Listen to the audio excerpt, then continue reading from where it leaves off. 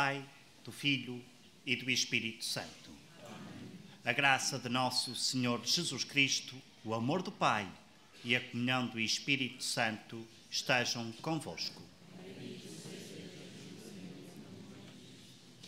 Queridos irmãos e irmãs, queridos peregrinos, hoje celebramos o quinto domingo do tempo comum. Toda a liturgia deste domingo gira à volta da vocação, das suas características e, sobretudo, da identidade que um cristão deve ter. A primeira e a mais importante de todas as vocações é a vida, a qual Deus nos chamou a cada um a viver. E porque nem sempre agradecemos essa grande vocação que é termos sido chamados à existência, vamos então pedir perdão ao Senhor para melhor celebrar a Sua presença no meio de nós.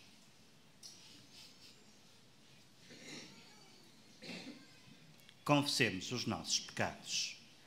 Confesso a Deus Todo-Poderoso e a vós, irmãos, que eu pequei muitas vezes por pensamentos e palavras, atos e omissões, por minha culpa, por minha tão grande culpa.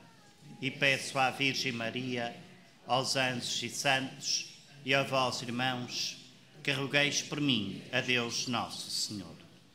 Deus Todo-Poderoso, tenha compaixão de nós, perdoa os nossos pecados e nos conduza à vida eterna.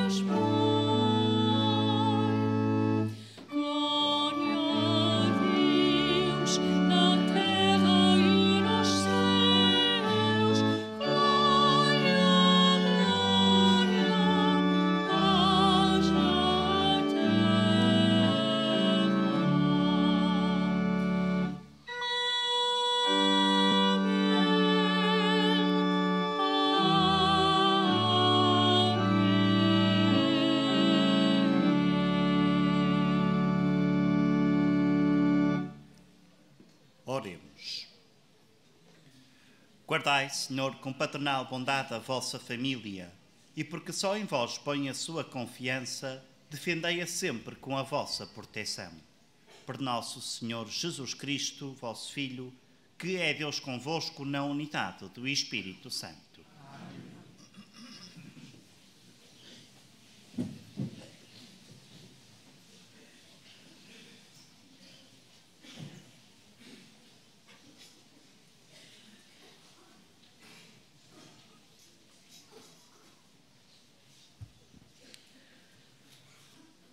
Leitura do livro de Isaías. No ano em que morreu Osias, rei de Judá, viu o Senhor sentado num trono alto e sublime, a fímbria do seu manto enchia o templo. À sua volta estavam serafins de pé, que tinham seis asas cada um e clamavam alternadamente, dizendo: Santo, Santo, Santo é o Senhor do universo a sua glória enche toda a terra. Com estes brados, as portas oscilavam nos seus gonzos e o templo enchia-se de fumo. Então exclamei: Ai de mim que estou perdido, porque sou um homem de lábios impuros, moro no meio de um povo de lábios impuros, e os meus olhos viram o Rei, Senhor do universo um dos serafins voou ao meu encontro, tendo na mão um carvão ardente que tirara do altar com um matenaz. Tocou-me com ele na boca e disse-me: Isto tocou os teus lábios. Desapareceu o teu pecado, foi perdoada a tua culpa. Ouvi então a voz do Senhor que dizia: Quem enviarei? Quem irá por nós? Eu respondi: Eis-me aqui, podeis enviar-me. Palavra do Senhor.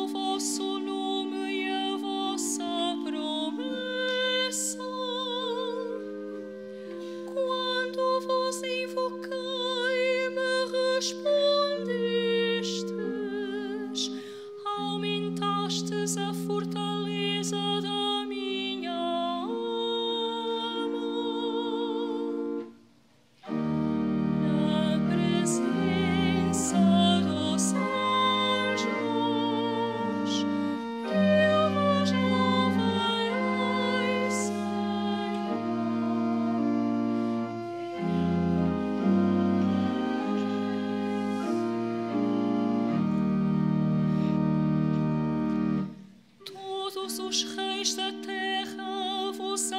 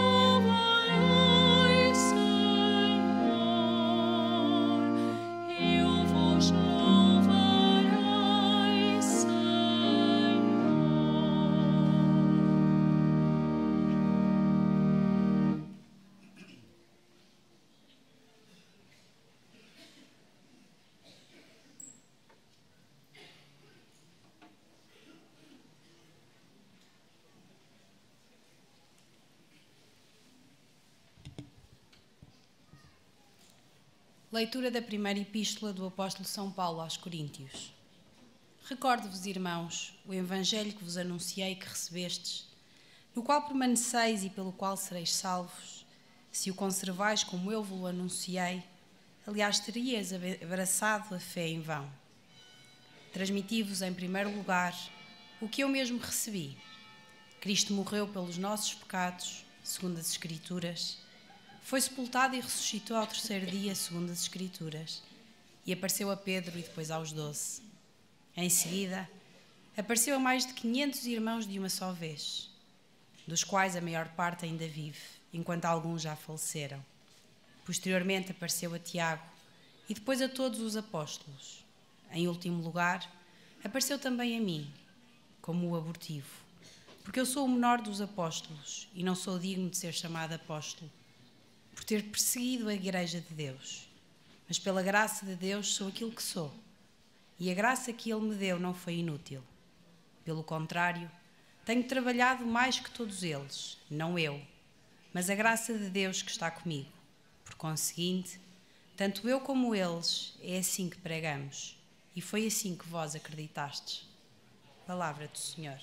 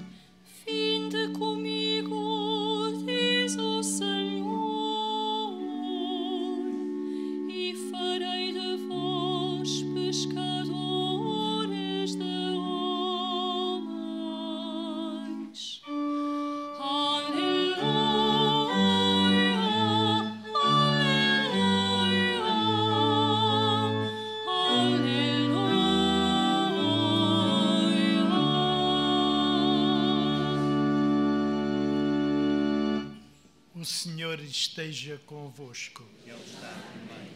Evangelho de Nosso Senhor Jesus Cristo, segundo São Lucas. Glória a vós, Senhor.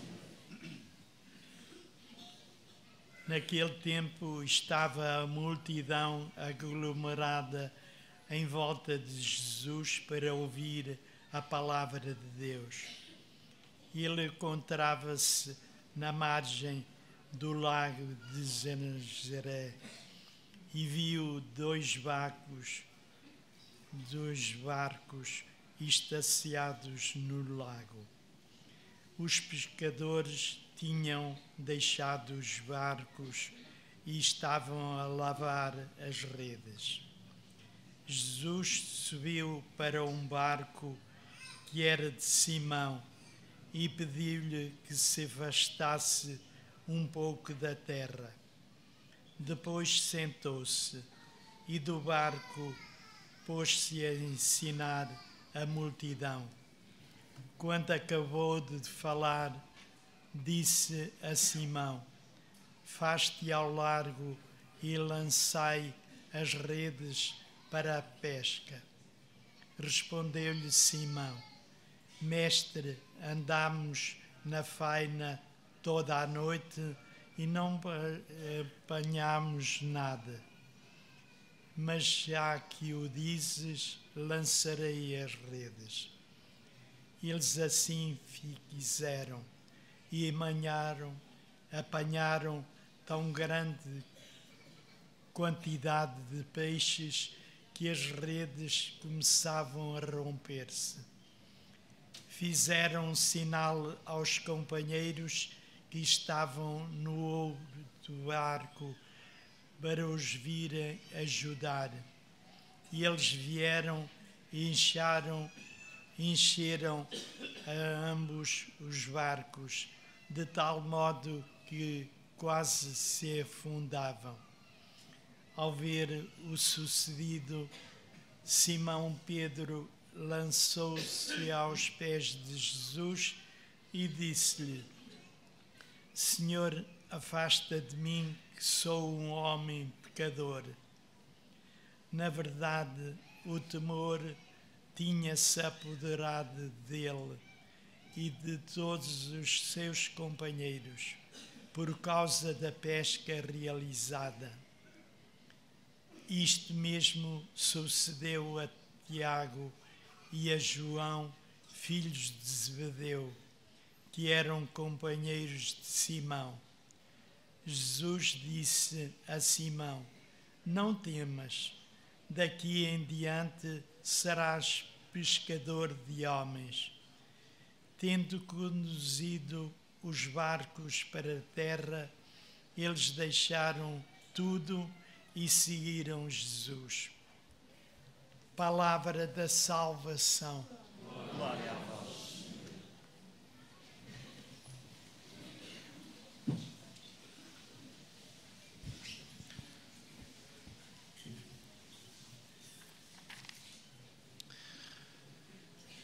Queridos peregrinos, como dizia no início, a liturgia deste quinto domingo chama-nos à vida, chama-nos à vocação, chama-nos à felicidade. A segunda leitura que nós ouvimos é de São Paulo aos Coríntios e hoje a nós.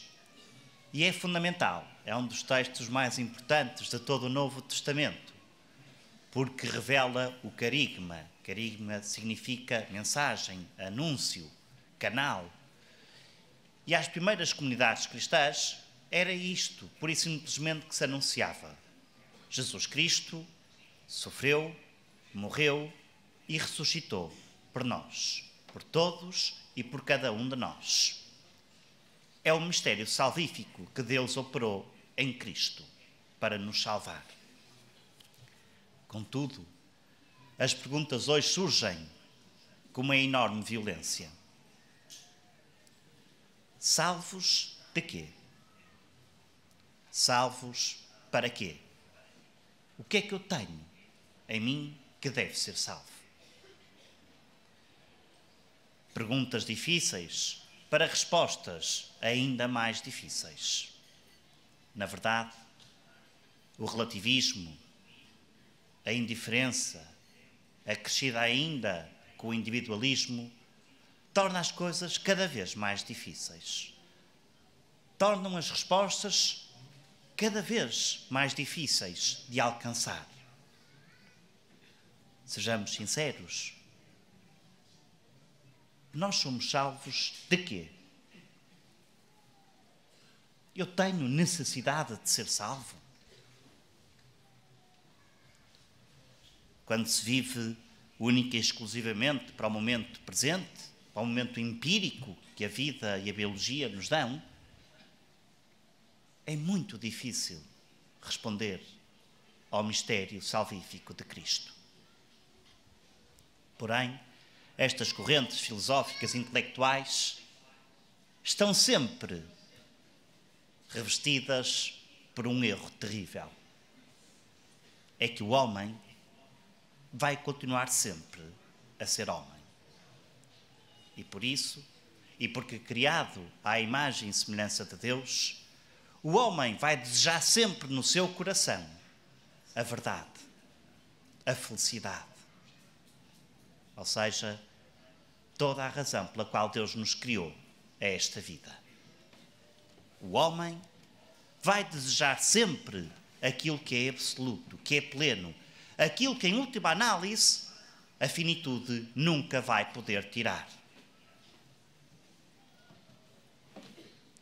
Ateus, agnósticos, crentes, não crentes, todo ser humano, de todos os tempos, deseja ser feliz.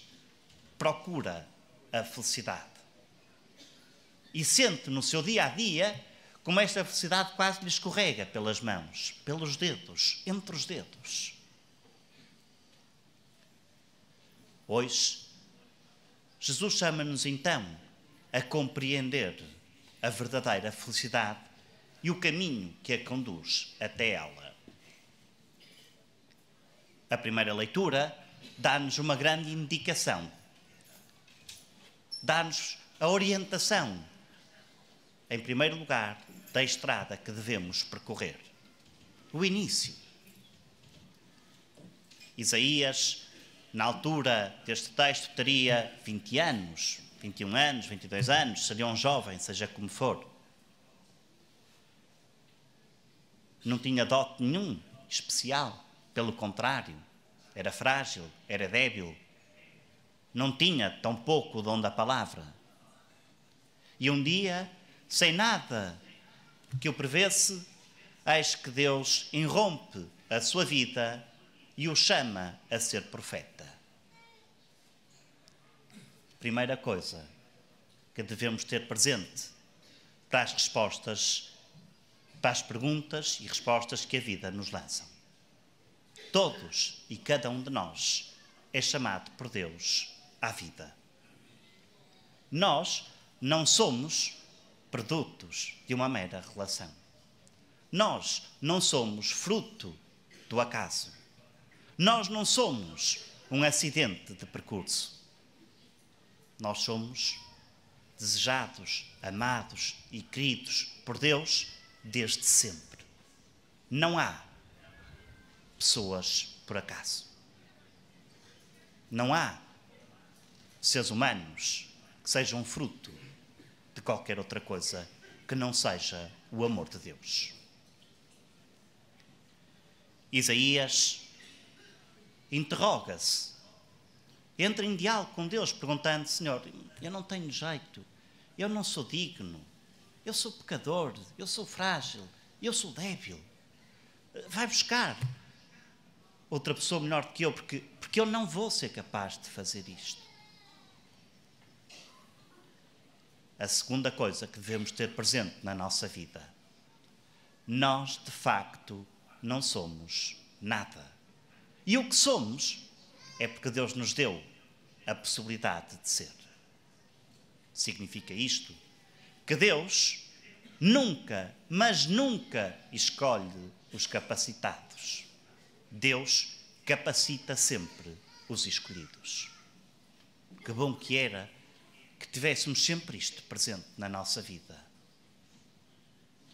Quando ponho toda a minha confiança em mim, é, o, é a resposta concreta de que me vou enganar na estrada. Porque Deus, de facto, escolhe aquilo que é frágil, que é débil, que é pequeno, para que nessa situação possa mostrar toda a sua omnipotência. E em terceiro lugar, o que devemos ter presente.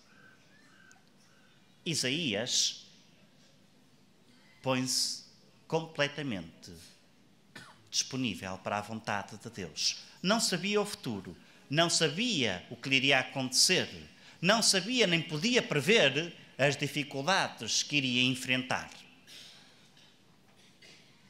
Mas confiou no Senhor.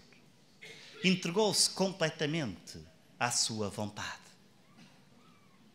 E porque aceitou, o caminho que começou a percorrer até à sua morte levou a uma grande glória. É sem dúvida, talvez, o maior profeta de todo o Antigo Testamento. E o Evangelho revela-nos então a identidade do cristão. Pontos muito concretos que Jesus, nesta página do Evangelho, que é uma página catequética, nos dá. E são quatro as condições que facilmente se apercebe neste texto. A primeira, Jesus estava a pregar numa barca, num barco. Primeira condição para ser cristão: estar na barca com Jesus. É Ele que está a dirigir a barca. É certo que um barco, quando está no mar, está sempre suscetível às tempestades, às ondas, aos ventos, à vida. Porque a barca significa precisamente toda a nossa vida, a vida da Igreja, que é açoitada permanentemente por ventos, por tempestades. Quantas vezes temos medo de nos afogar?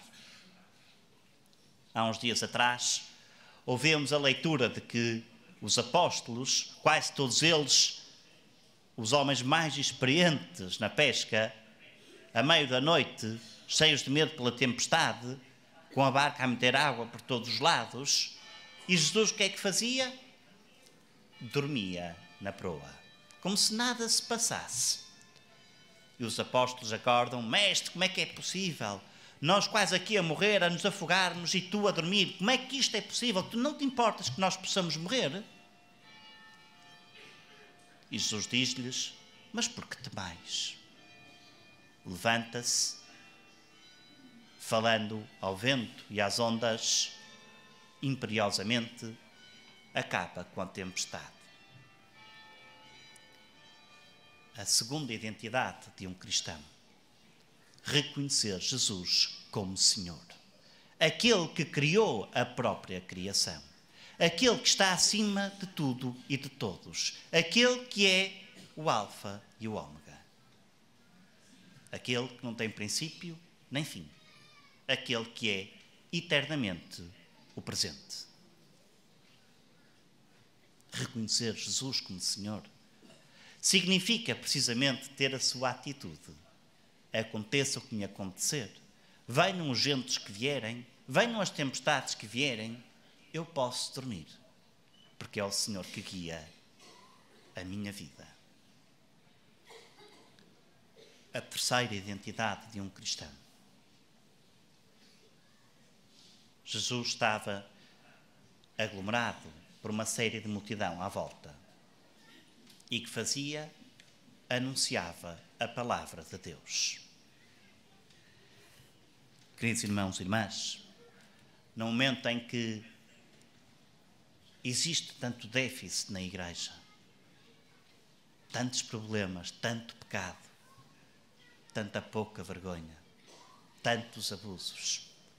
Mas apesar de tudo, sabem qual é o, mais o maior problema da igreja? É que os seus filhos não escutam a palavra de Deus. A Bíblia está em nossa casa quando está numa prateleira, provavelmente coberta de pó. Nós não queremos mais saber o que Deus nos diz. E a palavra de Deus não é um romance, não é uma ficção, não é um policial. A palavra de Deus é vida. Vida não vai à cabeça, vai ao coração. Como a comida está para o nosso estômago, podemos dizer que a palavra de Deus está para a nossa alma. Escutar a palavra de Deus. E chegamos, por fim, à quarta identidade cristã. Aceitar as propostas que Deus nos faz. Pedro estava na barca. Era, isto sabemos historicamente, o maior e o mais reconhecido pescador de toda aquela zona da Galileia. Era o mestre dos mestres. E que já tinha ensinado João, Tiago, André, que estavam também na barca com ele. Saíram à noite para pescar. Sabemos que é durante a noite que há mais peixes. E naquele dia, naquela noite, perdão, não apanharam rigorosamente nada. E é aí que Jesus lhes diz: Pedro, vai para o mar e lança as redes. E Pedro, como quem diz: Senhor, eu sou pescador, enfim, sei um bocado disto, não é? Tive toda a noite e não apanhamos nada. Mas está bem, já que o dizes, vou lançar as redes. E o texto dizia-nos que apanharam tão grande quantidade de peixe que foi preciso chamar outro barco e, mesmo assim, os dois barcos iam-se afundando.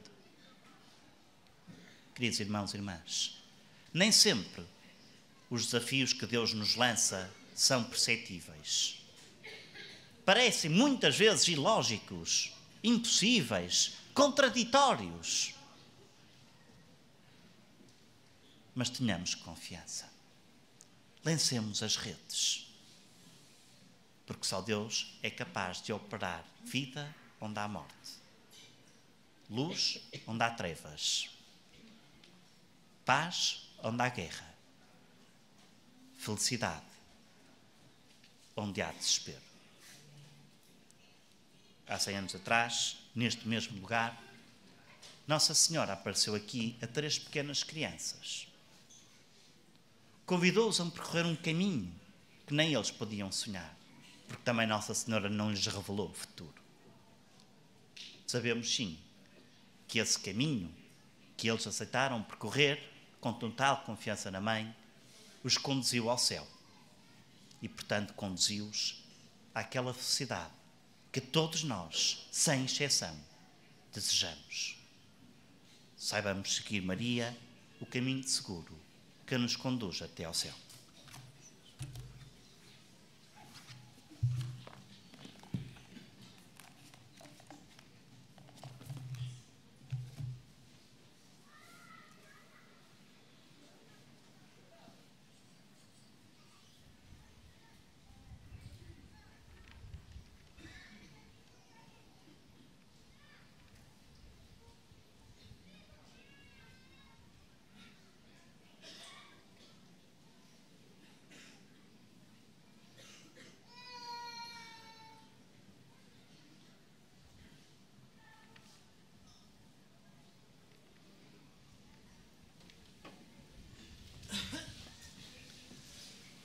Professemos a nossa fé.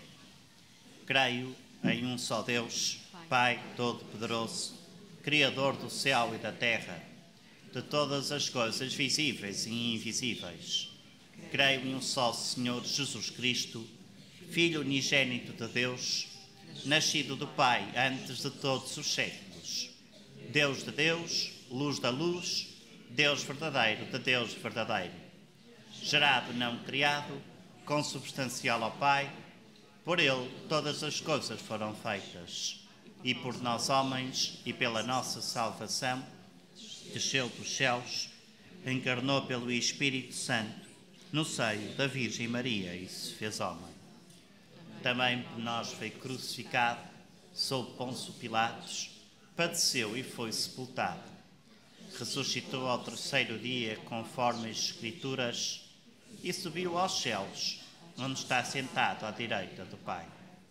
De novo há de vir em sua glória para julgar os vivos e os mortos, e o seu reino não terá fim. Creio no Espírito Santo, o Senhor que dá a vida e procede do Pai e do Filho, e com o Pai e o Filho é adorado e glorificado. Ele falou pelos profetas, Creio na Igreja Una, Santa, Católica e Apostólica. Professo um só batismo para a remissão dos pecados. E espero a ressurreição dos mortos e a vida do mundo que há de vir. Amém. Caríssimos fiéis, oremos ao Senhor do Universo para que dê aos que escutam os apóstolos deste tempo um coração aberto à sua mensagem e cantemos fervorosamente.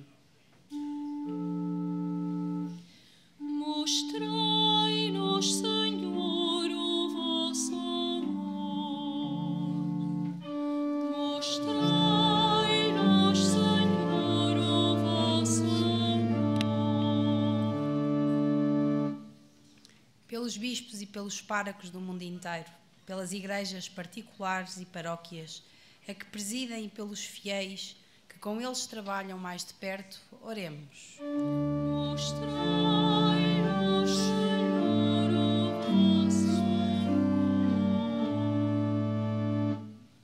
pelos responsáveis no governo das nações, pelos que promovem a prosperidade dos povos e pelos que defendem os direitos dos homens, oremos.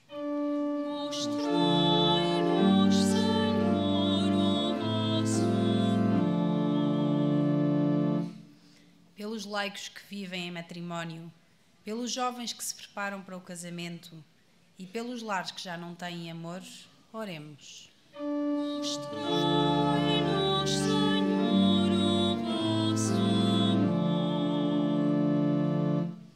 pelas irmãs religiosas de clausura, pelas jovens consagradas ao Senhor e pelas crianças que gostam de Jesus, oremos. Mostrai-nos, Senhor, o vosso amor. pelos membros da nossa Assembleia Dominical, por todos os outros cristãos e pelos homens e mulheres que não têm fé, oremos. Mostrai-nos,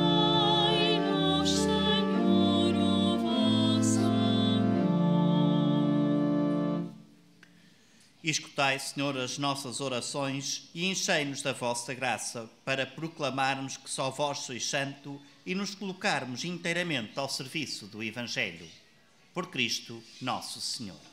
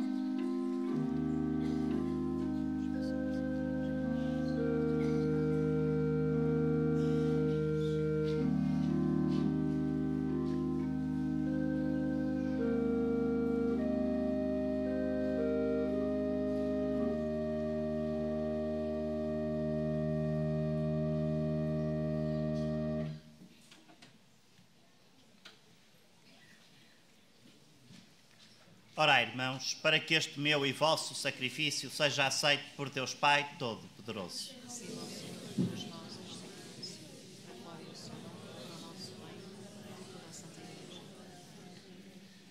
Senhor nosso Deus, que criastes o pão e o vinho para auxílio da nossa fraqueza, concedei que eles se tornem para nós sacramento de vida eterna. Por nosso Senhor Jesus Cristo, vosso Filho, que é Deus convosco na unidade do Espírito Santo. O Senhor esteja convosco. Corações ao alto. Demos graças ao Senhor nosso Deus.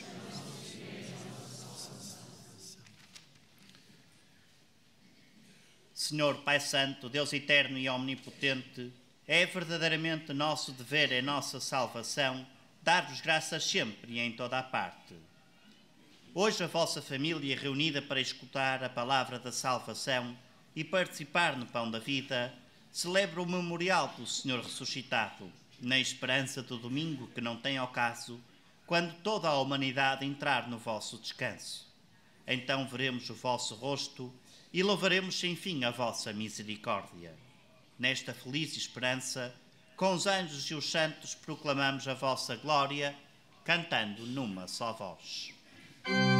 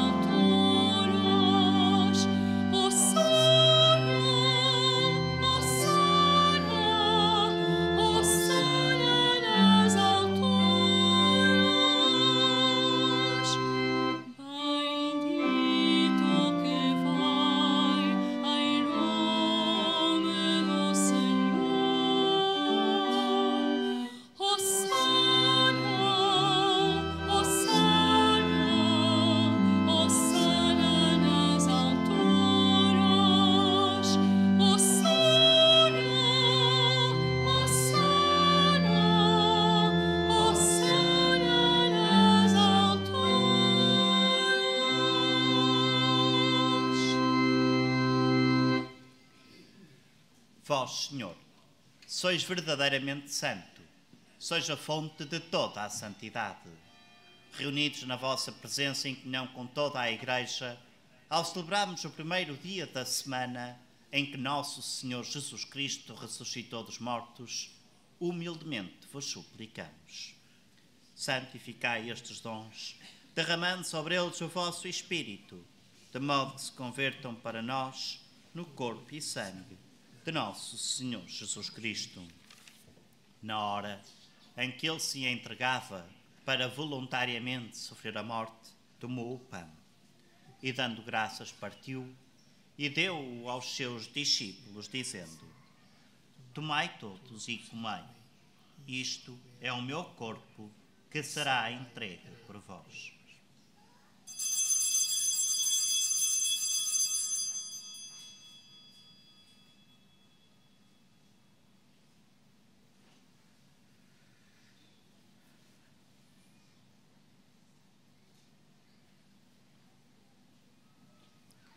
De igual modo, no fim da ceia, tomou o cálice e, dando graças, deu-o aos seus discípulos, dizendo: Tomai todos e bebei.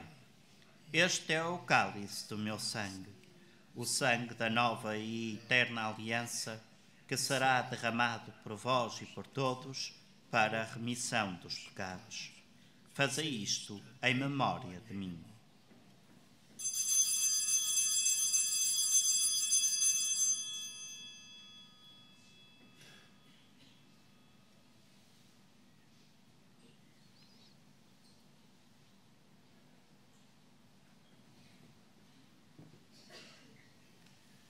Mistério da fé.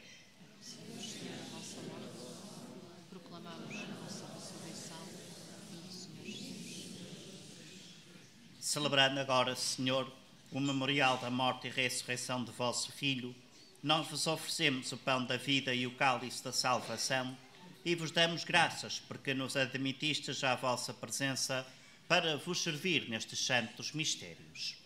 Humildemente vos suplicamos que, participando no corpo e sangue de Cristo, sejamos reunidos pelo Espírito Santo num só corpo. Lembrai-vos, Senhor, da vossa Igreja, dispersa por toda a terra, e tornai-a perfeita na caridade, em comunhão com o Papa Francisco, o nosso Bispo António e todos aqueles que estão ao serviço do vosso povo.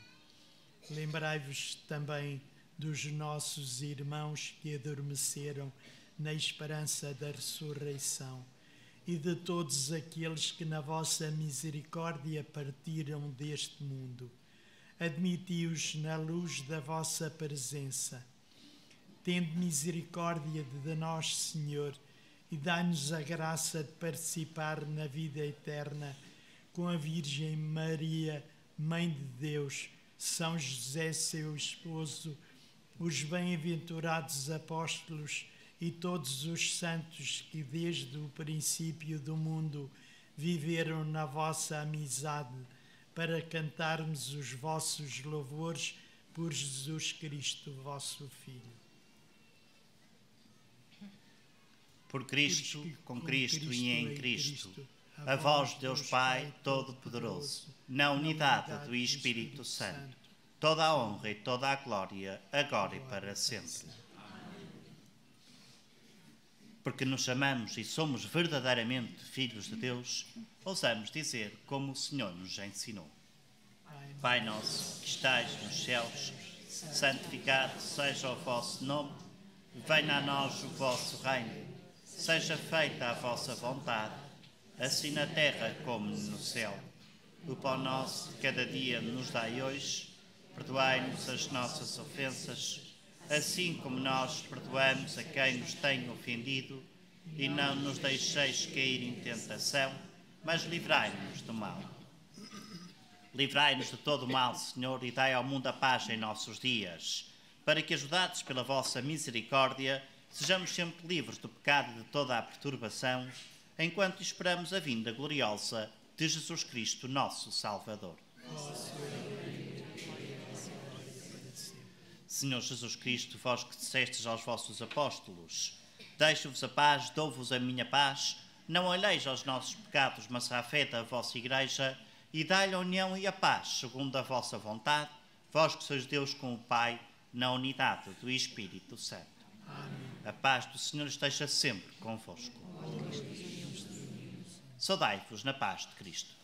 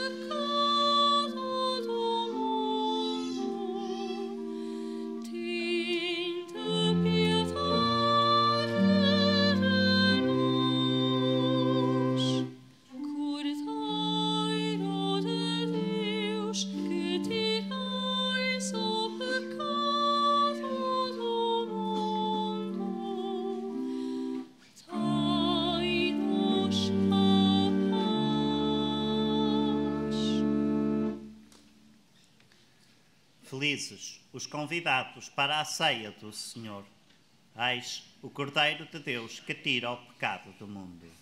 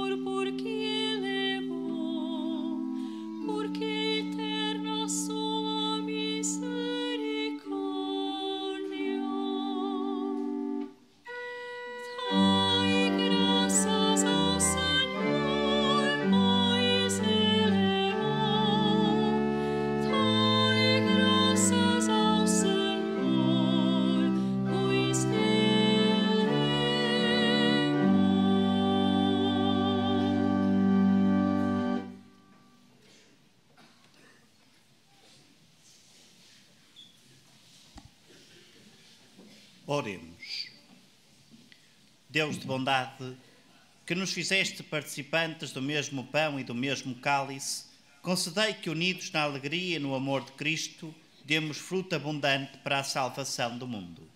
Por nosso Senhor Jesus Cristo, vosso Filho, que é Deus convosco na unidade do Espírito Santo. Faça agora a bênção dos objetos religiosos. I will now bless the religious objects. Benedico ora gli oggetti religiosi. Bendito sejais, Senhor, fonte e origem de todas as bênçãos, que sempre promoveis a piedade sincera dos vossos fiéis.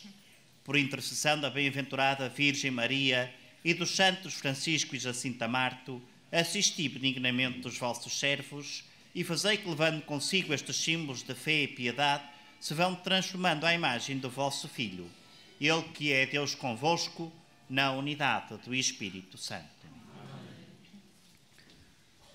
Brevemente os anúncios para esta semana da vida do santuário. Amanhã, segunda-feira, dia 11 de fevereiro, é- celebra-se o Dia Mundial do Doente com o seguinte programa. Às 14 horas, 2 da tarde, o Rosário aqui na Capelinha das Aparições. Às 15 horas, catequese na Basílica da Santíssima Trindade. E às 16h30, missa com a unção dos doentes na Basílica da Santíssima Trindade.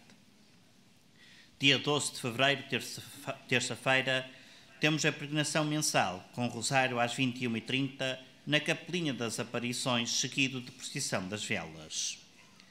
13 de fevereiro, quarta-feira, temos também a peregrinação mensal com o seguinte programa. Às 10 horas, o rosário na Capelinha das Aparições. Às 10h45, procissão até à Basílica da Santíssima Trindade. E às 11 horas, missa na Basílica da Santíssima Trindade. Neste dia, 13 de fevereiro, não haverá rosário às 12 horas na Capelinha das Aparições e a missa das 12h30 será celebrada na Capela da Morte de Jesus. E neste dia também, 13 de fevereiro, ocorre o 14º aniversário do falecimento da irmã Lúcia. O tempo está mau, chove, sejamos nós então pelo mundo fora, aqueles que trazem a paz, a confiança e a alegria neste tempo de tempestade. O Senhor esteja convosco. Abençoe-vos Deus Todo-Poderoso, Pai, Filho e Espírito Santo. Um santo domingo a todos, um santo regresso a casa, com cuidado, e em paz, e o Senhor vos acompanhe.